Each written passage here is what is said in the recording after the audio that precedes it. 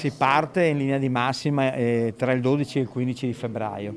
Stiamo valutando e credo che faremo inizialmente per la prima corte, quindi quella del 41 per capirsi, faremo con la telefonata. Dopo la variazione regionale del calendario, anche l'ULS 2 riorganizza le prossime tappe della campagna vaccinale anti-Covid, precedenza agli over 80 che verranno contattati nei prossimi giorni, non più via posta ma al telefono faremo 4.800 chiamate telefoniche, i nostri stanno già attrezzando, nel momento in cui non troviamo l'anziano chiameremo i familiari. Le linee dei CUP sono raddoppiate e gli operatori riserveranno i pomeriggi per contattare gli anziani. Il pomeriggio eh, l'anziano riceverà delle telefonate e verrà spiegato lui, a lui dove deve andare, a che ora, con orario e luogo. I medici di famiglia verranno coinvolti nella campagna vaccinale, mercoledì l'incontro per definire i dettagli e contribuiranno alla somministrazione del vaccino AstraZeneca approvato per le fasce d'età dai 18 ai 55 anni e più semplice da conservare,